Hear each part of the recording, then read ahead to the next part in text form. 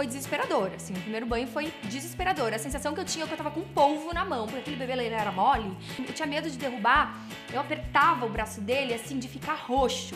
Coloca o termômetro, tira o termômetro, coloca o cotovelo, coloca o pulso, a temperatura tá boa, a temperatura não tá. Quando a gente colocou o bebê na água, mas ele gritava parecia que a gente tava matando ele. Eu simplesmente brigava com meu marido, não sabia o que fazer. E no dia seguinte, o que, que eu fiz? Chamei a sogra pra vir ajudar a dar banho, porque eu não tive coragem de dar o segundo banho no meu filho. E depois a gente foi pegando jeito. Mas, gente, o primeiro banho foi horrível.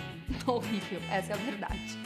Já no segundo filho, a experiência foi completamente outra. Sem aquela preocupação de agarrar o bebê para ele não, não escorregar dentro da água e morrer. Então foi uma coisa muito, muito mais tranquila. Eu acho que a principal diferença entre o banho do primeiro e do segundo filho é a segurança que a gente tem. Já sabe que o bebê pode parecer um polvo, mas não é um polvo. Às vezes ele tá gritando, não é porque a água tá fria ou porque a água tá quente demais, é simplesmente porque ele estranha, né, a água. Eu acho que como a gente tá assim mais tranquila, mais relaxada, o bebê relaxa também. Um episódio assim de banho engraçado que eu lembro foi com o Léo, né? Eu tava dando banho nele e num determinado momento eu olhei pra carinha dele e eu percebi assim que ele tava ficando vermelho, que tava se apertando. Eu falei, não! Aí eu corri, peguei a toalha, coloquei embaixo do Léo, enfim, tirei ele da água, consegui salvar a água, né? Mas vocês já imaginam o que, que ele fez. Então não vou esquecer do primeiro cocô no banho. Aqui eu quero falar não só de cuidados, mas de uma característica minha, pessoal, que é, eu sou uma pessoa muito prática. E que eu gostei dos produtos Dove? Eu encontrei um produto que atende a questão da minha praticidade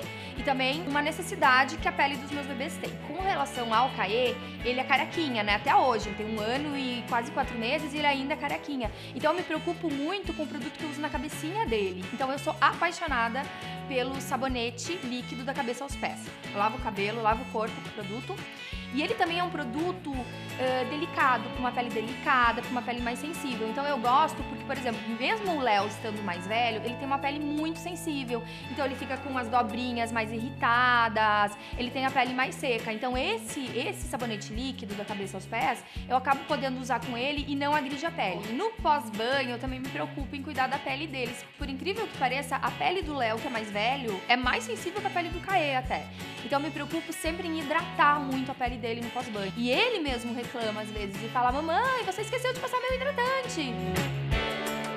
Hoje você conheceu um pouquinho mais do meu jeito de ser mãe, uma mãe bastante prática, mas extremamente cuidadosa. E você já descobriu o seu jeito de ser mãe? Se você descobriu, confie no seu jeito.